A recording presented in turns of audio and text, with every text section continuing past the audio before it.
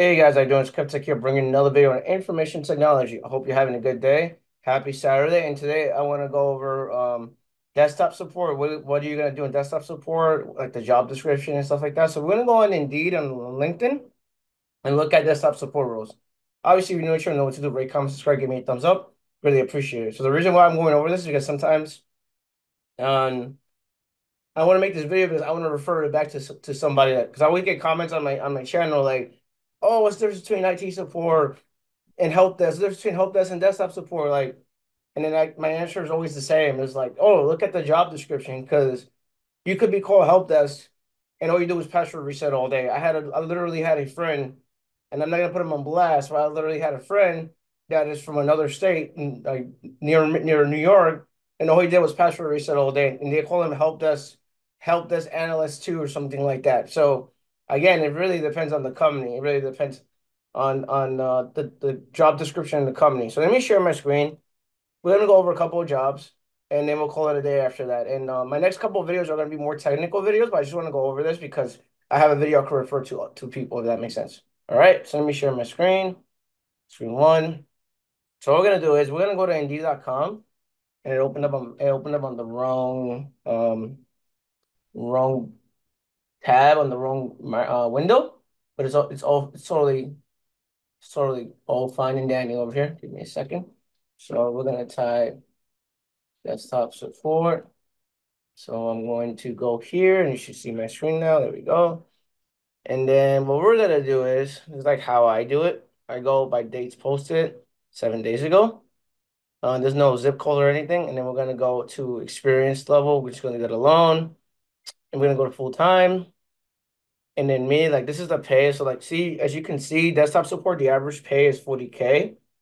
If you have no experience, like typically they're gonna ask for like A plus and stuff like that.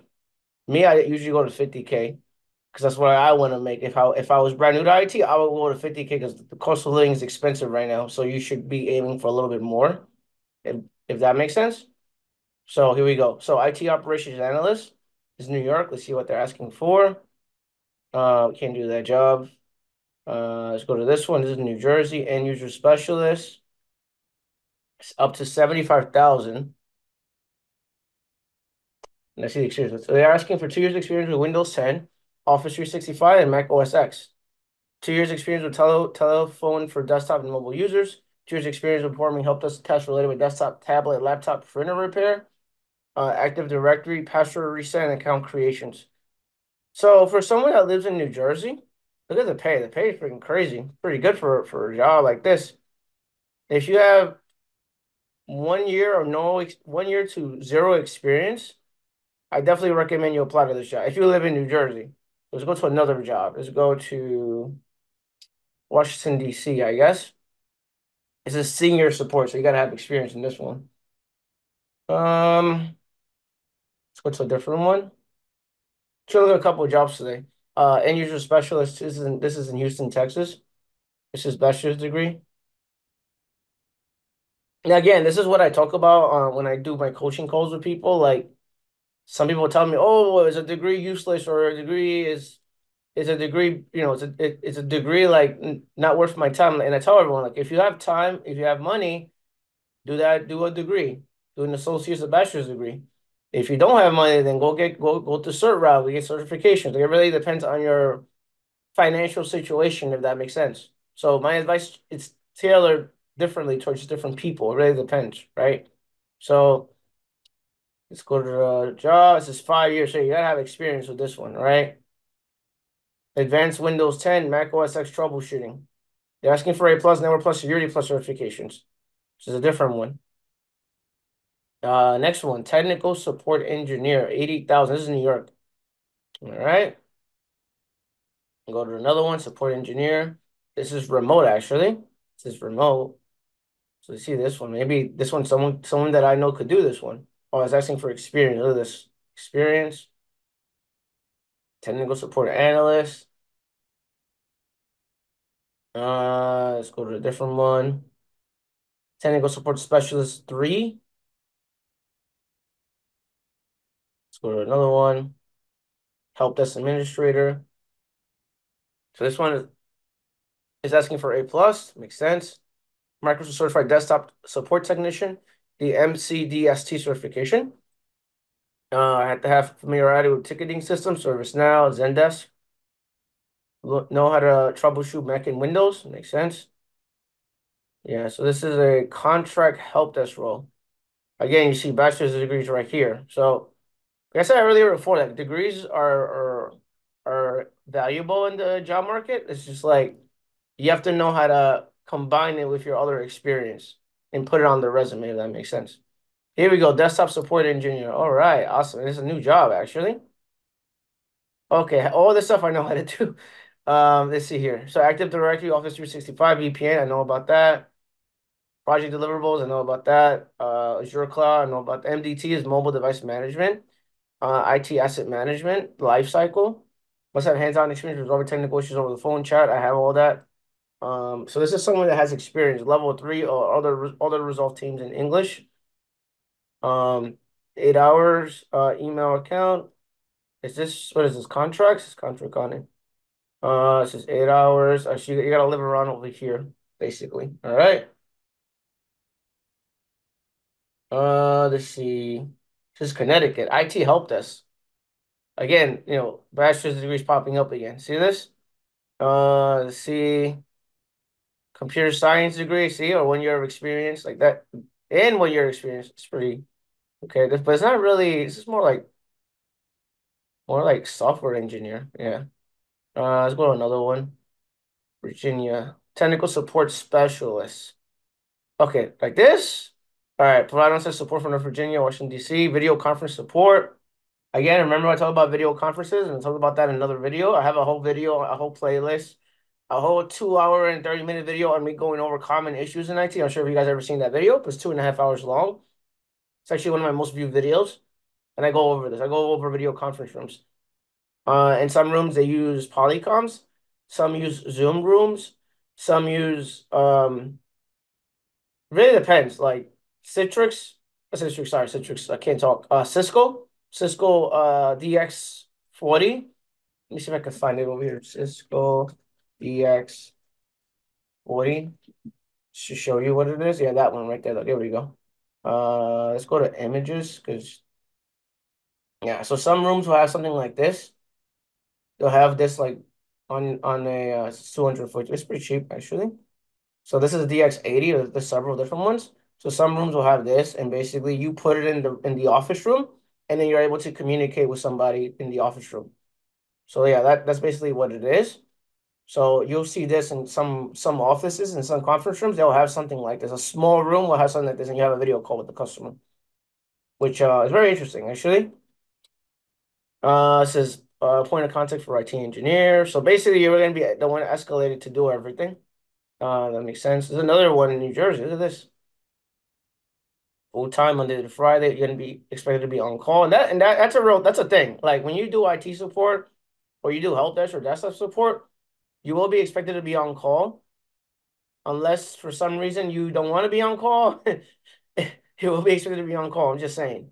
This is experience level one, two, three, four, five. So customer service. This is this is again like people don't listen to me, but I mean, hopefully this you know hopefully this doesn't trigger anybody. But again, this is why I talk about customer service experience. Again, I talk about customer service experience. You have one year in restaurant, you could be a construction worker for all I care. It could be whatever, right? In customer service, right? You have one year of experience. You could tailor that for a job in IT. This is a job, this is a perfect job for someone that has a customer service background that has no experience. I would apply to this job if I live in New Jersey. So it says one to two years or three years before. It says prefer one year of customer service experience.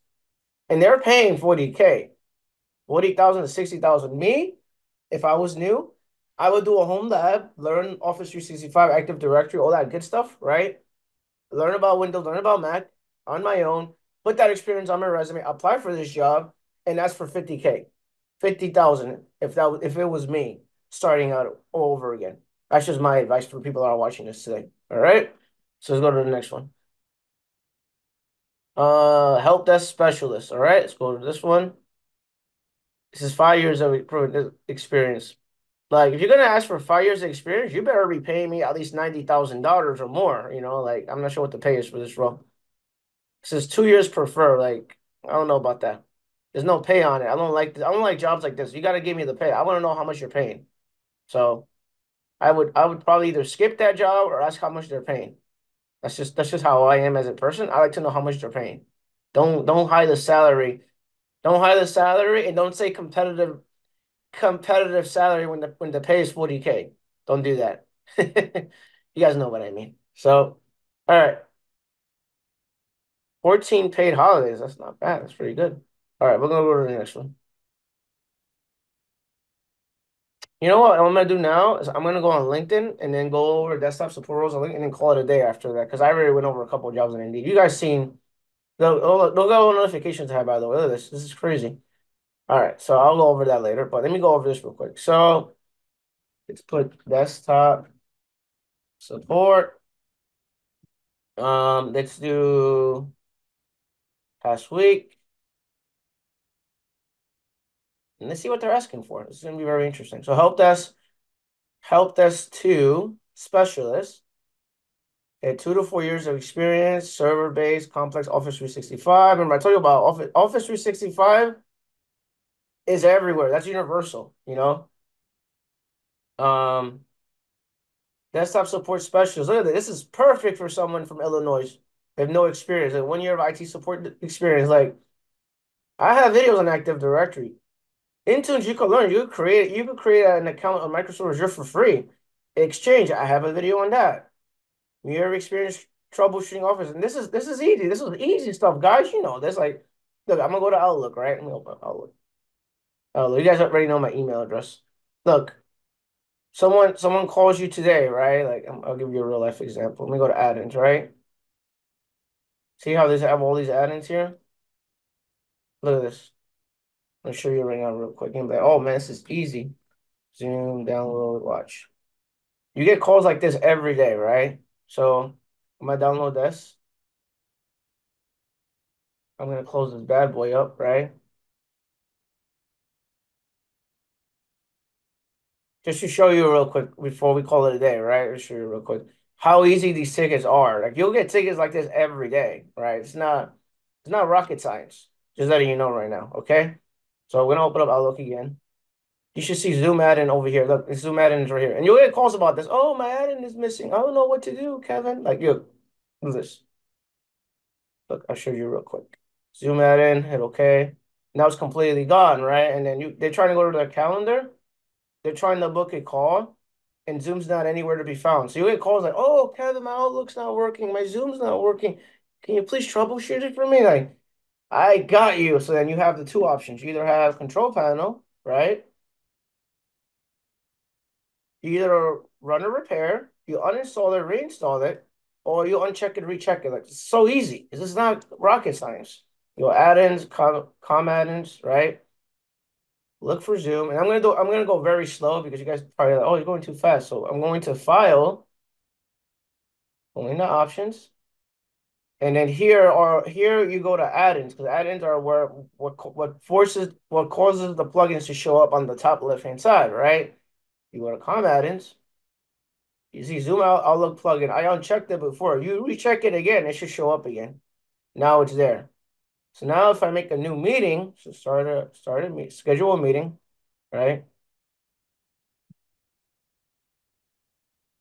So now if I if I create a new meeting here, you can actually create meetings in here. So add a Zoom meeting, right? Right? It's gonna ask me to sign in, but the Zoom the Zoom add-in works. So just showing you guys like this is not rocket science. So I'm gonna go and close out of this. We're gonna go back to this. So they're asking for experience troubleshooting add-ins, and it's the same thing with Excel. You know, open up Excel, right? I'm gonna open up my, Excel looks weird because I just reinstalled everything, but it's Excel, right? And then you go to options, add-ins, right? And go add-ins, and the add-ins are right there. It's the same. It's the same thing. It's not rocket science, right? So we go to the next row. But not you guys understand what I'm talking about. This is not complicated. So We're gonna look at two more rows and we'll call it a day after that. So I'm gonna look for another row. This is Austin, Texas, right? Two years of troubleshooting Mac and Windows, two years of IT management, ticketing, and tracking system. You can learn like ServiceNow for free. So this is about help desk, right? Two years of experience, Office 365, Google Cloud, Active Directory. Nothing out of the ordinary, right, guys? So um yeah, and that's it for me. Let me go and let me go to my go here. Give me a second.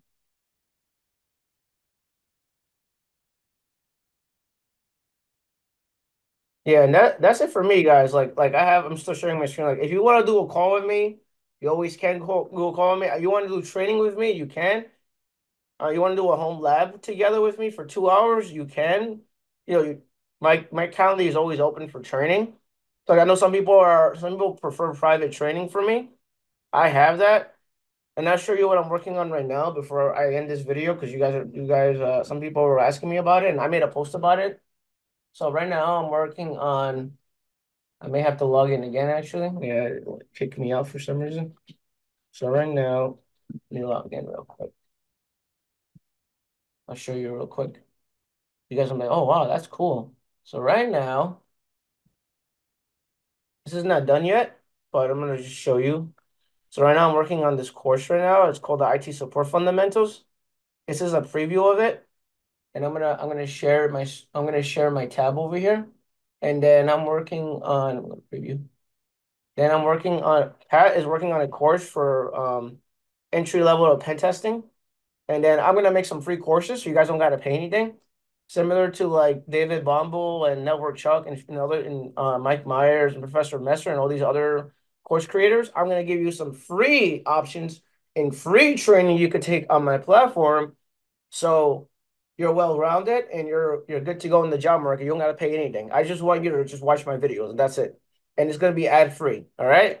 So that's it for me. I'm gonna stop sharing. That's it for me. So that's an overview of desktop support jobs, IT support, help desk jobs. You know, you can call it whatever you want. At the end of the day, I look based on the job description. But it's not complicated. Like people put think it's super duper. Com- it's not. Basically, you're dealing with phone calls, you're dealing with customers, you're troubleshooting their issues, and that's it. Nothing out of the ordinary. Anyway, with that being said, I hope you guys have a wonderful day and take care. Peace. Bye.